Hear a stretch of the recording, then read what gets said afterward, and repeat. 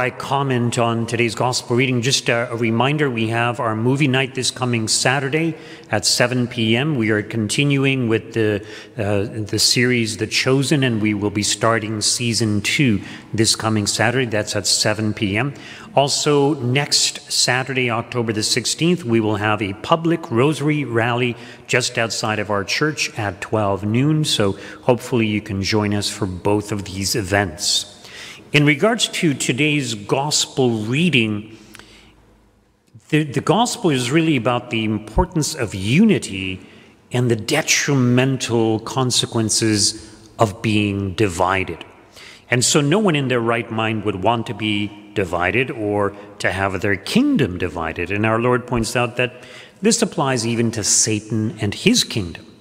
Now, in the, in the kingdom of Satan, you know, each of the fallen angels is filled with, with great pride and great hatred for God. It's not as if they like each other, but insofar as they want to oppose God and God's plan for mankind, they are extremely united. And in fact, we hear various cases in, in the scriptures that, you know, out of Mary Magdalene, seven demons were cast out. In other words, those seven united in possessing her. Or if you recall the, the man who was possessed amongst the tombs, uh, the, the Gadarenes, when, when the, the demons uh, are cast or they go into the swine. And, and it was, they, uh, they reveal themselves as being legion, which is like I, I, think it's a thousand foot soldiers, you know, of, of, an army. In other words, it's a very large amount of demons possessing one man. So the demons are definitely, definitely united in this. Notice also in today's gospel reading when he points out that an unclean spirit, when it goes out of a person, it wanders uh, through waterless regions looking for a resting place, but not finding any. It says, I will, I will return to my house from which I came. When it comes, it finds it swept and put in order. Then it goes and brings seven other spirits more evil than itself and they enter and live there. And the last state of that person is worse than the first. So once again, it re- reiterates how they're united and they want to have greater control, greater possession of human beings. So the one demon invites seven others to come and possess that. And part of the, the lesson there is that sometimes, especially for people who know what is right and wrong, you know, young, young people, when they fall into sin, okay, well, they're, they're led astray by their peers. Maybe they didn't know certain things were really that wrong, and they're just kind of believing the media. But once someone knows and they fall into sin and again and again, in other words, the evil spirits have greater access to them because their sin is all the more greater than someone who falls out of ignorance, let's say. So, all the more reason as to why we should avoid falling into sin. Now, when we think of the Catholic Church, Satan wants to destroy, to corrupt the Catholic Church.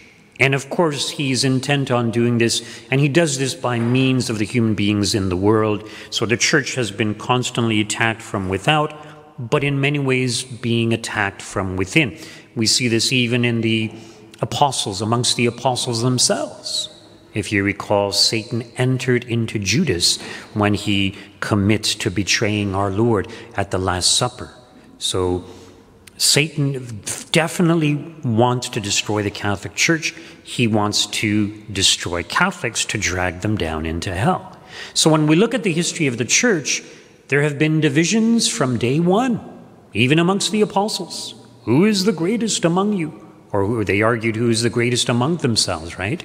So all these divisions, St. Paul addresses certain divisions or certain wrong practices, wrong beliefs, even in the early church.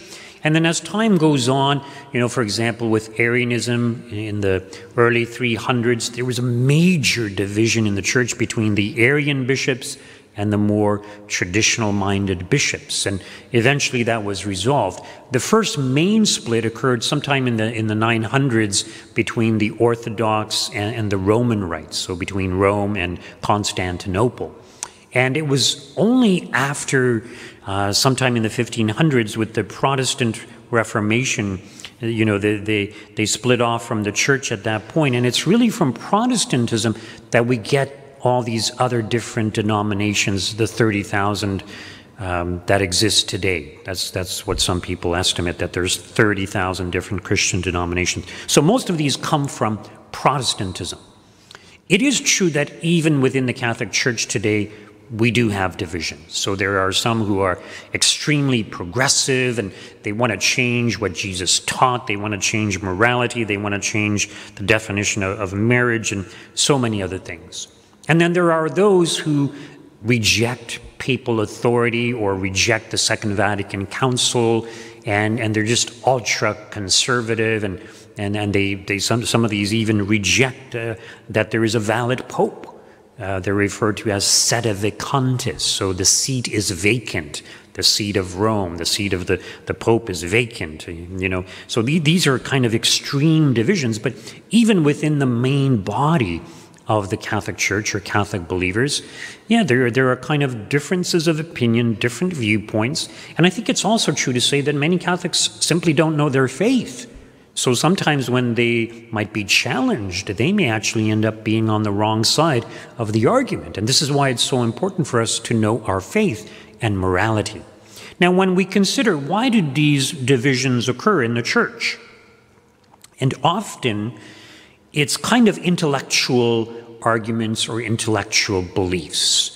So, with Arianism, Arius taught that Christ was not divine, that he was just the greatest created being. And yes, he's our Savior. Yes, he did all these miracles and everything, but he's not one of the persons of the Trinity. This is what Arius taught, and many people believed it. So, it was an intellectual argument. The same with Protestantism. You know, Martin Luther, he looked at the church at that time, and there was a lot of corruption in the church at that time. You know, priests were living with women, they were selling indulgences and all kinds of corruption. And Martin Luther said, This can't be the true church. You know, it's interesting at that time in the 1500s, we have some of the greatest saints coming uh, or that existed uh, from the 1500s St. Teresa of Avila, St. John of the Cross, St. Philip Neri, St. Ignatius of Loyola, and there's so many others from that time period. And that just goes to show that whenever there is a crisis, God raises up saints to lead people back to the ways of God.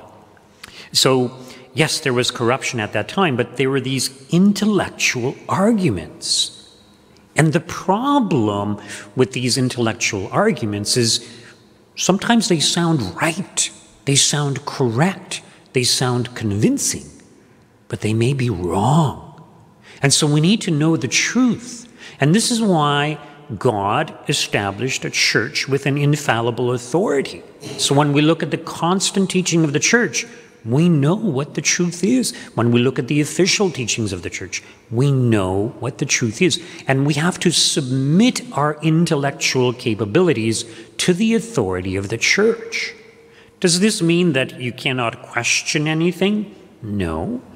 So sometimes people have questions. They wonder, well, why is it wrong to uh, practice artificial contraception, for example? Or why, why is this the case? Or why is that the case? So you know, St. Augustine says, faith seeking understanding. So we have to submit to the authority of God, which comes to us through the authority of the church. Remember how Christ says, Those who listen to you, listen to me. So we're talking about the official teaching now. So we have to submit to that. So, really, what's behind all of this? And, you know, just like I mentioned on Sunday, what's behind all the problems with divisions in, in marriage or divorce? You know, it's interesting. Satan doesn't just want Christians divided, he also wants societies divided, parishes divided, families divided, because divide and conquer. It's a very common principle that people in the military understand, right? So if you want to conquer someone, divide them, separate them, isolate them. When we're left to ourselves, we're much, much weaker. This is why one of the benefits of coming to church on Sundays is that you're in the midst of the believing community. Simply seeing others practicing their faith strengthens your faith. If you're just practicing your faith at home, well, what's to strengthen your faith? It's your own personal devotion, but you don't have the benefit of people, like minded people, practicing your faith. So they want to isolate people. They want them just to believe what the media wants, or, or Satan wants us to be divided. And also, when we're divided, there's often the element of anger, hatred, resentment. These are openings to the evil spirits. They love it when we give in to these things. So there's nothing wrong with having differences of opinion, but we have to discuss those things rationally. Now, notice what happens in today's gospel reading. Our Lord is accused of casting out demons by the prince of demons or the ruler of the demons. He casts out demons by Beelzebul, the ruler of the demons. So, in other words, they're concerned because our Lord is gaining a, a large following. And they don't like that. They don't agree intellectually with the things our Lord is teaching. And so they start attacking his human uh, person. In other words, they're using ad hominem arguments. That's a Latin phrase, ad hominem, against the man. In other words, they're not debating theology or saying you're wrong because of this, you're wrong because of that. In other words, now they're accusing his person. Well, he's possessed. He's casting out these demons by the prince of the demons, the ruler of the demons. And this is often how people deal with, with others when things don't go their way. They realize they can't argue rationally, so they just attack the person, try to damage their character, which, which of course is wrong. It's, it's, it's evil. So this is partially what they're doing. Now, someone might argue that, well, they have rational grounds for it, and in one sense, yes, but they're not willing to listen to reason. And this is why our Lord, notice how he responds. He responds very reasonably. A kingdom divided against, itself will not stand. Even the kingdom of Satan is not divided. And recall how our Lord, you know, just before he undergoes his passion and death, the one thing he prayed for was unity amongst his followers. Father, may they be one as you and I are one. Now think about this division this desire of Satan and the evil spirits to divide and conquer. This division that takes place in the church, in society, or even within families, as I mentioned, it's ultimately related to our pride, thinking we know what's right, just like Arius, he thought he was right, and he clung to what he believed was right. In other words, he believed more in his own intellectual abilities than the God given authority of the church. So pride. So sin is, is at the root of it. But if you think about it, sin is a separation from God. So it's a division. But even within ourselves, there's a division that takes place. So, in other words, these, um, let, us just say the Jewish leaders, they're accusing our Lord of casting out demons by the, the prince of demons. You see, they cannot rationally argue against our Lord. So they are, they are denying right reason and they are just clinging to their will. We want this man out of here. We want this man's influence to stop. So they suppress their reason. So even when our Lord tries to explain things reasonably to them, they refuse to listen. We see the same thing happening today. I mean, an extreme example we could say is, is when someone has an abortion. Now, some people acknowledge that it was wrong, but they were pressured, and, you know, okay, they, they, they may have repented of it. But, but we see so many people who say, well, no, it, it's my body, it's my choice. Is it really your body? I mean, it has its own genetic makeup. The child in your room has its totally unique genetic makeup. Sometimes it even has different blood type than the mother and you say it's your own body? Well, yes, it's within your body, but it's not your own body. And, and, and some will refuse to acknowledge that it's even a child. Oh, it's just a, plum, a, a blob of tissue or something. And they get so angry when we tell them that it's a human being, that it's a human life. Why are they so angry? Because they don't want to acknowledge the truth. They're suppressing their conscience, they're suppressing their reason. So, what's happening? There's a division between their right reason, logic, and their will. They don't want it to be true. therefore they suppress their own reason. And if you suppress your own reason, you're going to have problems in other areas of your life. It makes perfect sense. So when we consider the, the human being and, and in our soul, reason should be at the top. The will or our desires should be in the middle, and our actions follow. In other words, our passions, our bodies carry out the actions that we should do.